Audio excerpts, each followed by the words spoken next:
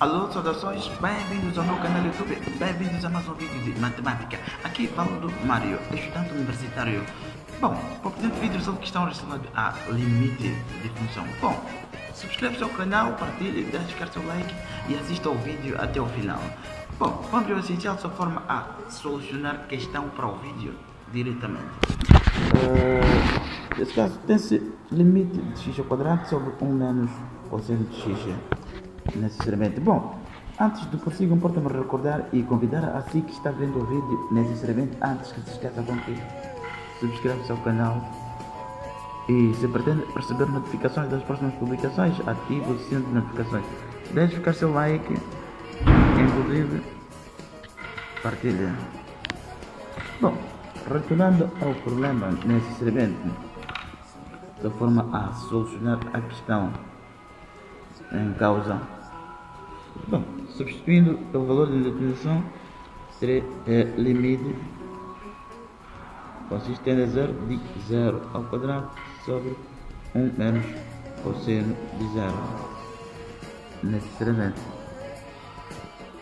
Aqui resulta é, zero sobre 1 menos cosseno de zero 1.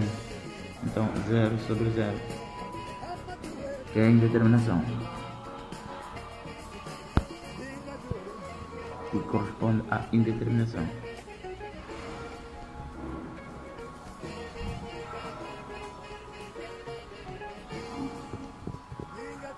Uh, bom, o que significa limite quando x tende a zero de x ao quadrado sobre 1 menos cosseno de x a determinação 0 sobre 0. Então, uh, achando o limite, uh, terei, nesse caso, limite tende a zero a ter que achar para o conjugado, tendo uma expressão trigonométrica cosseno de x eh, e tendo um menos cosseno, a diferença necessariamente, eh, podendo uh, obter necessariamente a expressão trigonométrica fundamental, necessariamente. Então, nesse caso, podendo aplicar para o conjugado. Hum, então, x ao quadrado, 1 menos cosseno de x, então, vezes é, nesse caso 1 mais cosseno de x, que é o par conjugado, no denominador, inclusive no numerador. Pois simplificando uh, 1 mais cosseno de x e cosseno 1 mais cosseno de x, retorno à expressão anterior. Então, o que significa isso é igual.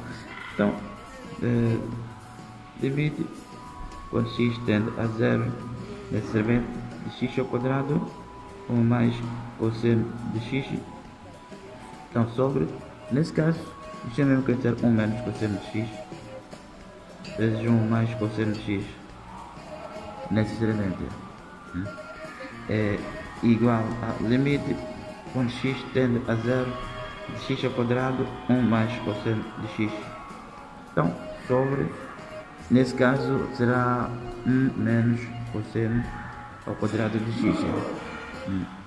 Parece que tem dificuldades em como uh, achar essa expressão. Então, 1 menos cosseno de x, 1 mais cosseno de x, isso é igual. A necessariamente 1 mais cosseno de x, então menos cosseno de x, 1 mais cosseno de x. Então, que é igual. A 1 mais cosseno de x menos cosseno x vezes 1 menos cosseno x. Menos cosseno x vezes mais cosseno x menos cosseno ao quadrado de x. Necessariamente. Então tem-se eh, valores simétricos, expressões simétricas, cosseno x e menos cosseno x. Então, nesse caso será 1 menos cosseno ao quadrado de x. Que é necessariamente o resultado da expressão 1 menos cosseno de x mais cosseno x, produto necessariamente. Bom, por outra, seria inclusive se fizesse ao contrário, 1 menos cosseno de x.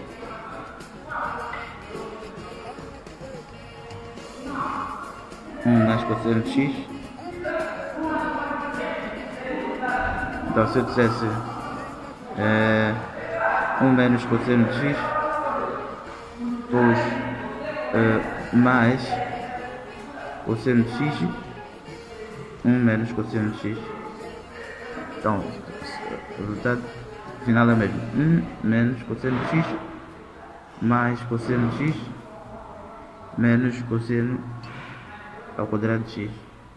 Então tem-se aqui simétricos então sobra 1 menos cosseno ao quadrado de x necessariamente ou fazendo propriedade distributiva também.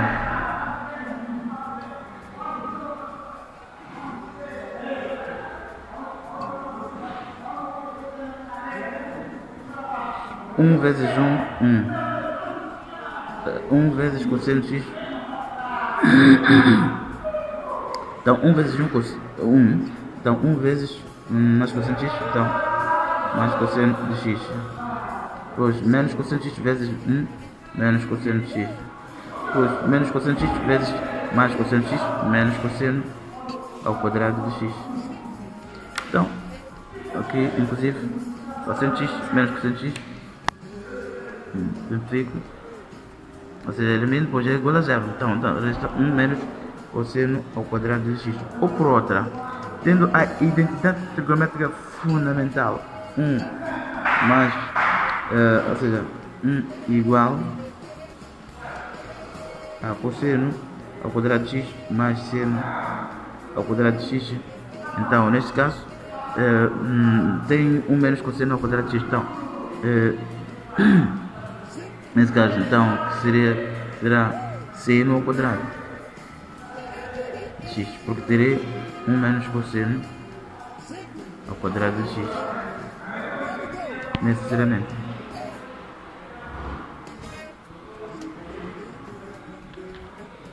Bom uh, progredir nesse caso de limite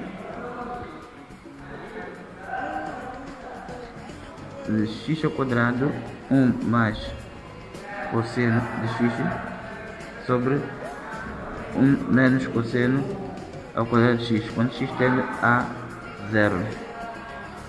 Então, neste caso, terei limite quando x tende a zero de x ao quadrado 1 mais cosseno de x.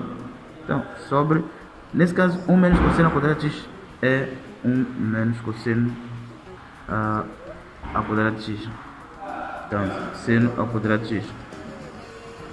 Então, aqui é, hum, desenvolvi demonstrando necessariamente é, que esse produto 1 menos cosseno de x, 1 mais cosseno de x é, um, igual a 1 menos cosseno ao quadrado de x. Então, aqui é igual inclusive a seno ao quadrado da identidade trigonométrica fundamental. E para substituir, enquanto poderia uh, substituir por 1, que é seno ao quadrado uh, de x mais ou seno ao quadrado de x, aqui onde vê 1, não seria o mesmo. Então, limite quando x tende a zero de eh, x ao quadrado sobre seno ao quadrado de x. Terei aqui limite notável. Limite, limite fundamental trigonométrico. Então, vezes limite de x quando tende a zero de 1 mais cosseno de x. Então, isto é igual a 1. Depois, limite de seno de x ao quadrado sobre x ao quadrado, inclusive é igual a 1. Então, o mesmo limite, quando x tende a zero de x ao quadrado sobre seno ao quadrado de x é igual a 1. Pois o equivalente de seno ao quadrado, hum, nesse sentido,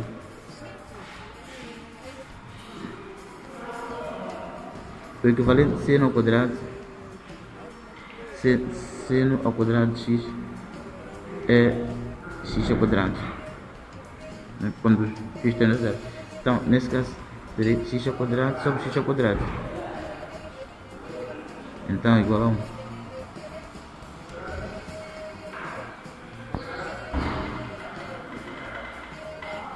Necessariamente. Bom, isso igual a 1, como dizia.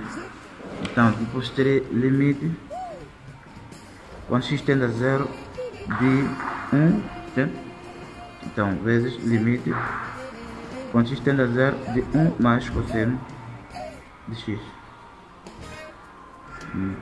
Então, nesse caso igual a limite tende a 0 de 1 mais cosseno de x. Então, substituindo pela indeterminação, substituindo pela indeterminação, pelo valor da indeterminação, teria limite tende a 0 de 1 mais cosseno de 0. E cosseno de 0 hum, é 1. Então, igual a 1 mais 1 igual a 2. Necessariamente. igual a 2. Bom, deixando ficar a ilustração para si, que se calhar tenha ficado para trás, necessariamente. Porém, existe também possibilidade uh, de resolução pelo método uh, de derivada, método de L'Hospital, necessariamente é, pós a determinação 0 sobre 0. Então, o que significa, para este caso, a outra possibilidade, eu tenho limite tende a 0 de x ao quadrado sobre 1 menos cosseno de x. Então, a determinação já dizia de que é 0 sobre 0. Então, posso aplicar L'Hospital, que é derivante. Então, que inclusive é válido para indeterminações 0 sobre 0 ou infinito sobre infinito. Então, uma vez que é válido 0 sobre 0, então posso aplicar L'Hospital. Mas também, tendo 0 vezes infinito ou outra indeterminação um pouco o intuito para que possa usar, aplicar a regra de L'Hospital é convertendo para essas duas possibilidades. Então, nesse caso, uh, terei uh, limite quando x tende a zero, então x ao quadrado derivada sobre 1 menos cosseno de x derivada. Então, nesse caso, terei derivada de x ao quadrado é 2x, então sobre 1 derivada menos cosseno de x derivada, necessariamente. Então, derivada de cosseno de x é igual a menos seno de x. E salientar derivada de seno de x é igual a cosseno de x necessariamente então neste caso terei 2x sobre derivada de 1 é 0 então menos seno de x. Então terei 2x sobre uh, mais seno de x. Porém, nesse caso, uh, limite 2x sobre seno de x consistente a zero. Tá, mas poderia ter colocado inclusive daqui. Uh, então, limite consistente a zero. Hum, então, aqui obtenho uma expressão uh, do limite fundamental trigonométrico. Então, podendo inclusive se eu tenho limite de x sobre seno de x, tende a zero, é igual a 1. Inclusive, limite tende a zero de seno de x sobre x é igual a 1. Então, neste caso, terei x sobre seno de x. Então, em que posso colocar aqui o limite 2, é, limite quando x tende a zero de x sobre seno de x. Então, eu já dizia que é igual a 1 limite de seno de x sobre x ou limite de x hum, sobre seno de x quando x tende a zero. Então, nesse caso, terei 2 vezes 1 igual a 2. O que significa de que limite quando x tende a zero de é, x quadrado sobre 1 menos cosseno de x é igual a 2. E como consegue verificar, o resultado é o mesmo a que obtive anteriormente. Nesse caso, igual a 2.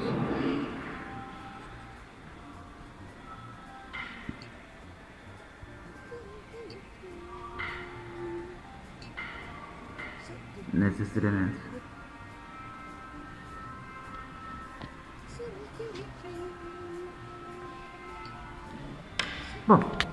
Deixando ficar a ilustração mais uma vez para si que se calhar tenha ficado para trás.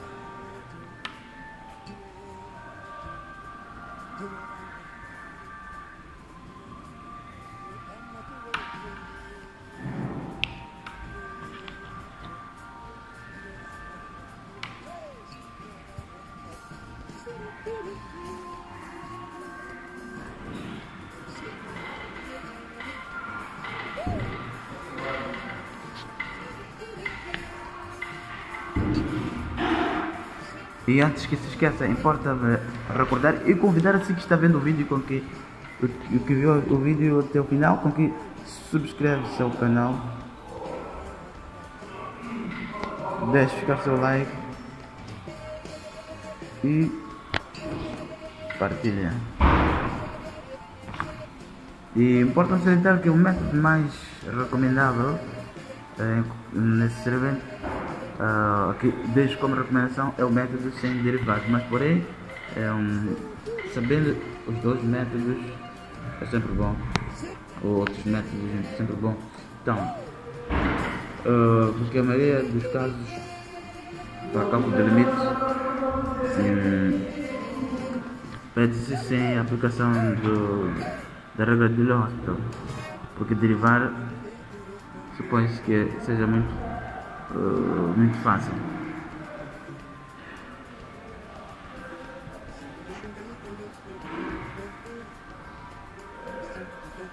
Então, entendendo que demonstrar.